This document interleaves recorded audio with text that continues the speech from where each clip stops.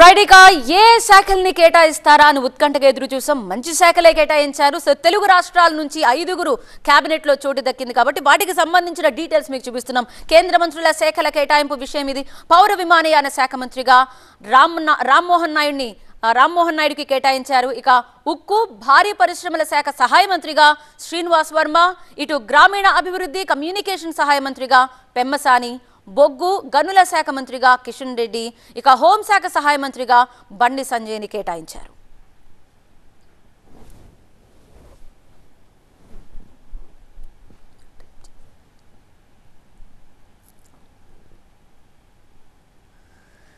Yes కేంద్ర మంత్రులకు శాఖల్ని కేటాయించారు పౌర విమానయాన శాఖగా పౌర విమానయాన శాఖ మంత్రిగా రామ్మోహన్ నాయుడు ఉక్కు భారీ పరిశ్రమల శాఖ మంత్రిగా సహాయ మంత్రిగా శ్రీనివాస్ వర్మ గ్రామీణాభివృద్ధి కమ్యూనికేషన్ సహాయ మంత్రిగా పెమ్మసాని బొగ్గు గనుల శాఖ మంత్రిగా కిషన్ రెడ్డి హోంశాఖ సహాయ మంత్రిగా బండి సంజయ్.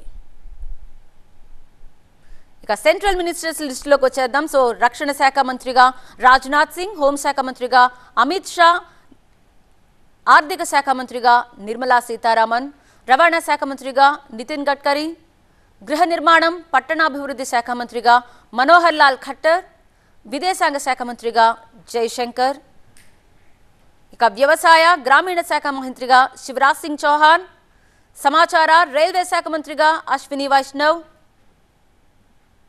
క్రీడా శాఖ మంత్రిగా చిరాగ్ పాస్వాన్ జల్ శక్తి మంత్రిగా సిఆర్ పాటిల్ పార్లమెంటరీ వ్యవహారాలకు సంబంధించి కిరణ్ రిజిజు ఆరోగ్య శాఖ మంత్రిగా జేపీ నడ్డా విద్యాశాఖ మంత్రిగా ధర్మేంద్ర ప్రధాన్ ఇక షిప్పింగ్ సంబంధించి శర్భానంద్ సోనోవాల్.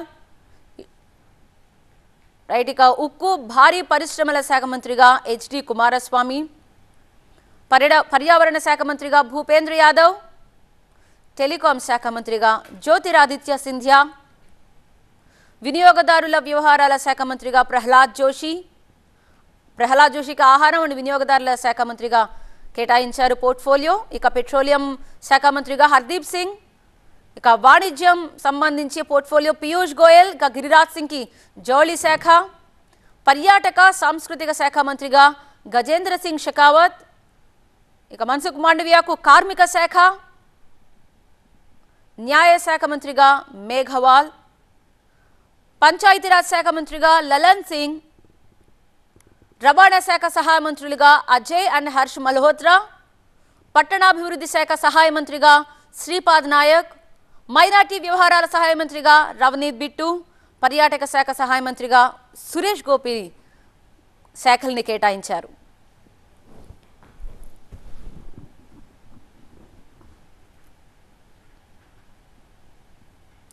సో ఈ బిగ్ బ్రేకింగ్ అప్డేట్కు సంబంధించి మరింత ఎనలైజ్ చేయడానికి మా అసోసియేట్ ఎడిటర్ మహాత్మా ప్రస్తుతం లైవ్లో సిద్ధంగా ఉన్నారు. మహాత్మా ఓవర్ టు యూ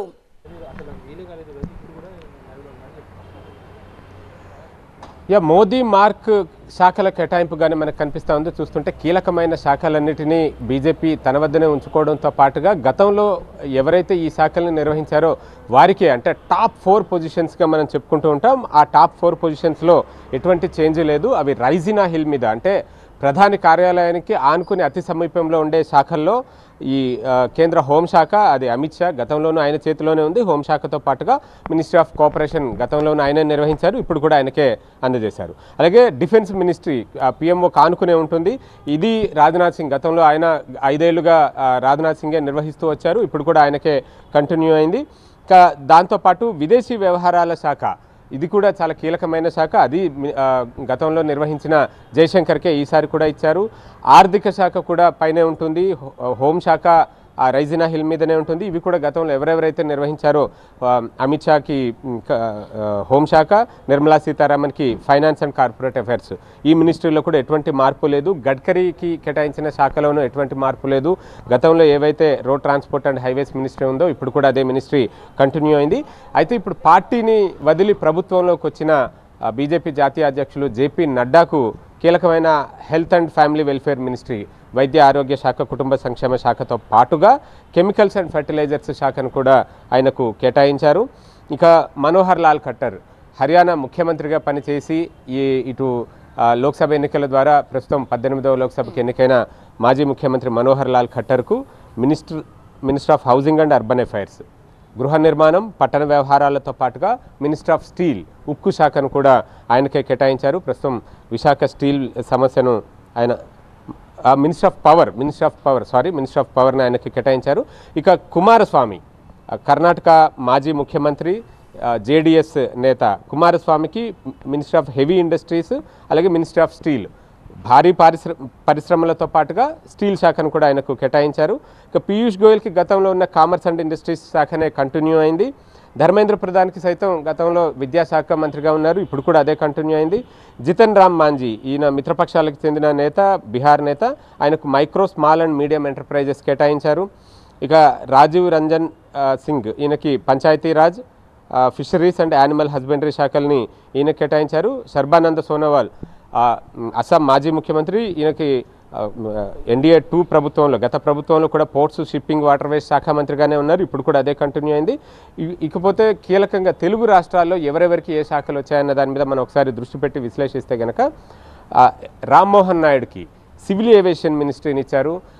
రెండు వేల పద్నాలుగు నుంచి పంతొమ్మిది వరకు ఎన్డీఏ ప్రభుత్వంలో తెలుగుదేశం పార్టీ ఉన్నప్పుడు అప్పుడు కూడా తెలుగుదేశం పార్టీకి ఇచ్చిన శాఖల్లో సివిల్ ఏవియేషన్ మినిస్ట్రీ అప్పుడు అశోక్ గజపతిరాజు ఈ శాఖకు మంత్రిగా పనిచేశారు. ఇప్పుడు రామ్మోహన్ నాయుడు ఈయన కూడా ఇద్దరు ఉత్తరాంధ్రకు చెందిన నేతలే. అప్పుడు టీడీపీకే ఈ శాఖనిచ్చారు ఇప్పుడు కూడా టీడీపీకే ఇచ్చారు. సో దీంతోపాటు దీంతో పాటు తెలంగాణలో కిషన్ రెడ్డికి ముఖ్యమైన గనుల శాఖ ఆయనకు కేటాయించారు. బొగ్గు బొగ్గుతో పాటుగా గనుల శాఖ కిషన్ రెడ్డికి కేటాయించారు. రెండు క్యాబినెట్ పోర్ట్ఫోలియోలు ఇంపార్టెంట్ పోర్ట్ఫోలియోస్ తెలుగు వారికి దక్కాయి. ఇక సహాయ మంత్రులుగా ఒకసారి చూసుకుంటే గనక డాక్టర్ పెమ్మసాని చంద్రశేఖర్కి గ్రామీణాభివృద్ధి శాఖతో పాటుగా కమ్యూనికేషన్ల శాఖ సహాయ మంత్రిగా బాధ్యతలు ఇచ్చారు. అలాగే బండి సంజయ్కి హోంశాఖ సహాయ మంత్రిగా ఇచ్చారు. ఆంధ్రప్రదేశ్కి చెందిన మరొక నేత భూపతిరాజ్ శ్రీనివాస్ వర్మకు భారీ పరిశ్రమల శాఖతో పాటుగా ఉక్కు శాఖ సహాయ మంత్రిగా బాధ్యతలు అప్పగించారు. సో ఇవన్నీ తెలుగు రాష్ట్రాలకైతే ఈ రకమైన శాఖలు దక్కాయని చెప్పవచ్చు. ఐదుగురు తెలుగు మంత్రులకు దక్కిన శాఖలు ఇవి right thank you so much Mahatma details అందించినందుకు. ఇక